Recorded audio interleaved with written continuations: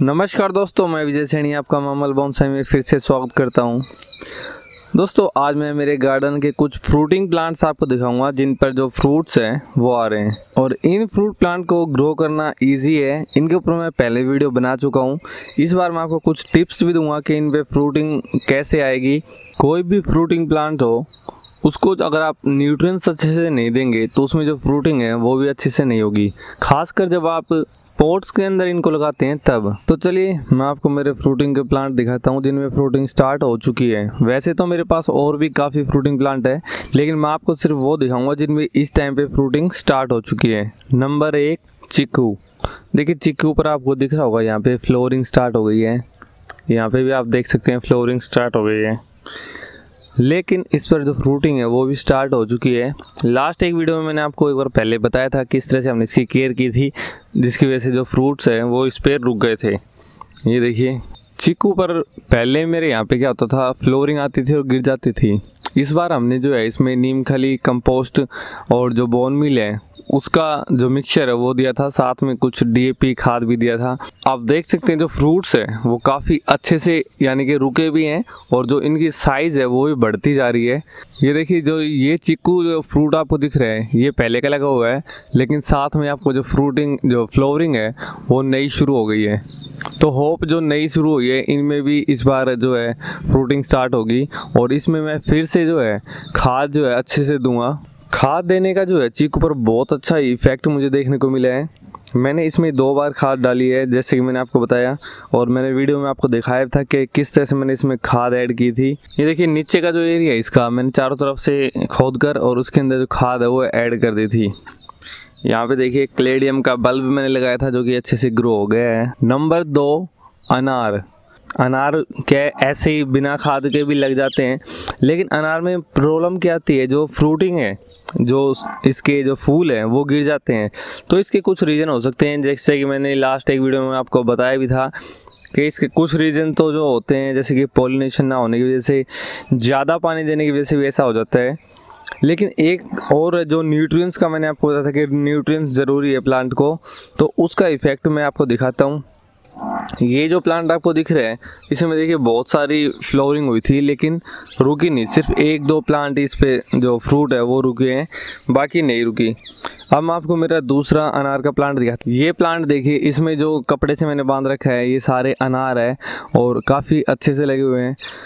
ये इसलिए बांधे क्योंकि यहाँ पे जो तोते होते हैं पैरट होते हैं, वो इनको काट जाते हैं साबत कोई तो देखिए इस, इसके अंदर है ताकि तोते इनको ना देख सके और ना इनको काट सके। वो गए यहाँ से इसको काट देते हैं। तो सारे अनार जो है काफ़ी अच्छे से इससे बने हुए हैं। और देखिए यहाँ पे देखिए यहाँ पे देखिए ऊपर देखिए उधर देखिए यहाँ पे देखिए। तो ढेर सारे अनार जो है इस प्लांट पे लगे हैं। इस पर अनार लगाने का जो कारण है वो देखिए मैं आपको नीचे दिखाता हूँ। इतने अनार इस पर क्यों रुके हैं? नीचे देखिए इसको आपको यहाँ पे इस तरह से लाइनिंग दिख रही होगी। यहाँ से गुड़ाई करके मैंने इसमें दो बार जो है वर्मी कंपोस्ट और जो बोन मील नीम खली, इस तरह की चीज़ें के साथ जो डीएपी है वो मिक्स करके डाला था तो उससे काफ़ी अच्छा रिज़ल्ट मिला। साथ ही एक चीज़ का ध्यान रखिए, अगर आप अनार के प्लांट पर इस तरह से नीचे से जो कुछ ब्रांचें ग्रो करती है तो इनको हटा दिया करें। अदरवाइज़ क्या होगा, ये जो है, ये क्या करती है प्लांट का जो न्यूट्रिएंट्स है वो ये ले लेती है, जिससे कि ऊपर न्यूट्रिएंट्स नहीं जा पाता। तो इनको मैं तोड़ता रहता हूँ जब भी एक ग्रो करती है। आप हाथ से इनको इस तरह से तोड़ सकते हैं। इस प्लांट की जो फ्रूटिंग है वो काफ़ी अच्छी है। इसमें जो जो हम काठ जो बोलते हैं, यानी कि बीज के, इसके अंदर जो बीज होता है, वो कम होता है। इसमें रस ज़्यादा होता है।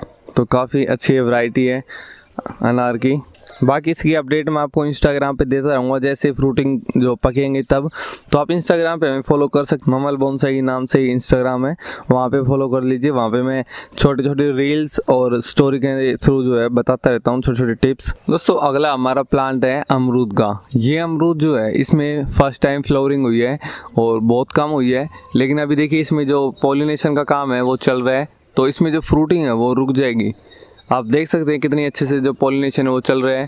यहाँ पे मक्खियाँ हैं, क्योंकि मेरे यहाँ पे जो है गार्डन एरिया में जो है फ्रूटिंग के प्लांट काफ़ी मैंने लगा रखे हैं। तो जिसकी वजह से पॉलिनेशन अच्छे से हो पाता है, और पॉलिनेशन अच्छे से होगा तो यानी कि जो फ्रूटिंग है वो अच्छे से होगी। यहाँ पे मक्खियाँ, मधुमक्खियाँ जो मोटी वाली है वो भी है। जैसा कि आप देख रहे हैं, जो मक्खी है, ये क्या है, पोलन के ऊपर घूम रही है। ये पोलन के ऊपर घूमेगी तो इसकी जो इसकी जो लेग है, इसके पैर पे जो है, ये जो पोलन है वो चिपक जाएँगे। और जैसे ही स्टिग्मा पे जाती है तो वहाँ पर जो पोलन चला जाता है, जिसकी वजह से क्या है पोलिनेशन की प्रक्रिया पूरी हो जाती है और जो फ्रूट है वो बनना शुरू हो जाता है। चलिए मैं आपको दिखाता हूँ किस तरह से। जब इस तरह से पोलिनेशन की प्रक्रिया जो है, पूरी हो जाएगी। पोलिनेशन की प्रक्रिया पूरी होने के बाद देखिए, इस तरह से जो फ्रूटिंग है, वो बन जाएगी। ये फ्रूट इसके अंदर जो पोलिनेशन है, वो कंप्लीट हो चुका है। इस तरह से ही अब ये, यहाँ से धीरे धीरे मोटा होने लगेगा और जो अमरूद है, वो बनने स्टार्ट हो जाएँगे। इसलिए गार्डन एरिया में जो फ्रूटिंग होती है, वो अच्छी होती है। जबकि छत पे जब हम एक या दो प्लांट लगाते हैं तो वहाँ पे क्या है तो वहाँ पे क्या है पॉलिनेशन अच्छी ना होने के कारण जो है फ्रूटिंग इतने अच्छे से नहीं होती। एक ये देखिए, ये हमारा अमरूद का एक प्लांट है जो हमने ग्राफ्टिंग करके तैयार किया था। ये बहुत ही बेस्ट है।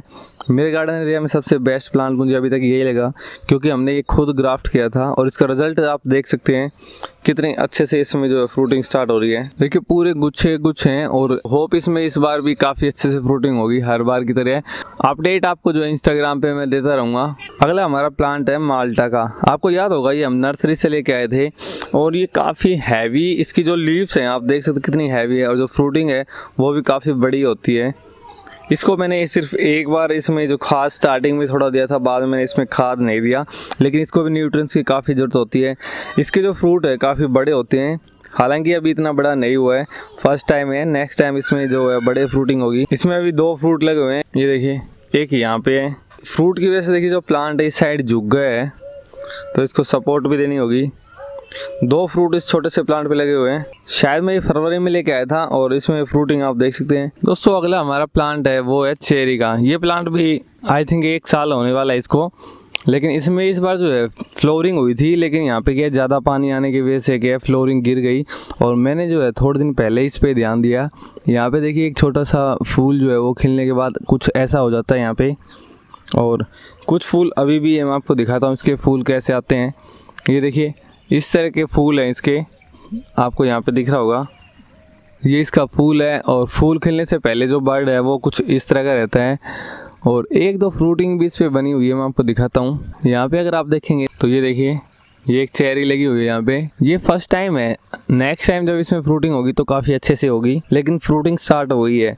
यानी कि हमारे फ्रूटिंग प्लांट में एक प्लांट और हमने ऐड कर दिया है चेरी का। और ये काफ़ी अच्छे से ग्रोथ करता है। काफ़ी तेज़ी से ग्रोथ करता है। होप नेक्स्ट टाइम इसमें काफ़ी अच्छे से जो है चेरी लगेगी। अगला हमारा फ्रूटिंग प्लांट है, अंगूर। अंगूर का मैंने पहले आपको बताया था किस तरह से इसकी केयर करनी है।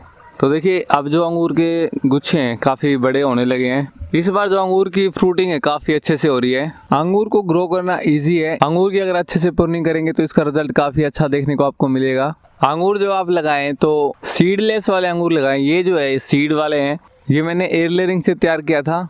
लेकिन इस पर भी जो फ्रूटिंग है, इस बार बहुत सारी हुई है। तो अंगूर जो है, अंगूर की वाइन भी आप लगा सकते हैं। इसको पोट में भी लगा सकते हैं। पोट में भी आसानी से ग्रो कर जाती है। अभी इनका जो कलर है, वो ग्रीन है, ये ब्लैक होंगे क्योंकि ब्लैक रंग के हैं। तो इसके अपडेट भी मैं आपको दिखाता रहूँगा। आप इंस्टाग्राम पे जुड़े रहिए। ओके दोस्तों तो ये कुछ फ्रूटिंग प्लांट है जो मेरे गार्डन एरिया में घर की तरफ़ अगर हम जाएँ तो घर पे मेरे आँगन में एक जो सहसूत का ट्री है जिसपे सहसूत लगे हुए हैं। हालाँकि अभी उसके फ्रूटिंग का एंड है, वो गिर चुके हैं, लेकिन अभी भी काफ़ी फ्रूटिंग उस पर बची हुई है। तो ये कुछ फ्रूटिंग प्लांट है जिसपे इस टाइम पे फ्रूटिंग स्टार्ट हो चुकी है। इन सभी फ्रूटिंग प्लांट से रिलेटेड वीडियो मैं डाल चुका हूँ कि इनकी केयर कैसे करनी होती है स्पेशल बाकी आपकी कोई क्वेरी है तो आप कमेंट करके पूछ सकते हैं। आपके गार्डन एरिया में अभी कौन से फ्रूटिंग प्लांट पे फ्रूटिंग स्टार्ट हो चुकी है, मुझे कमेंट करके ज़रूर बताइएगा। होप आपको वीडियो पसंद आई होगी। अगर वीडियो अच्छी लगे तो लाइक और शेयर ज़रूर कीजिए। अगर चैनल पर नए हैं तो चैनल को सब्सक्राइब कीजिए। मिलते हैं एक नई वीडियो के साथ। तब तक अपना और अपने माता पिता का ख्याल रखिएगा। शुक्रिया।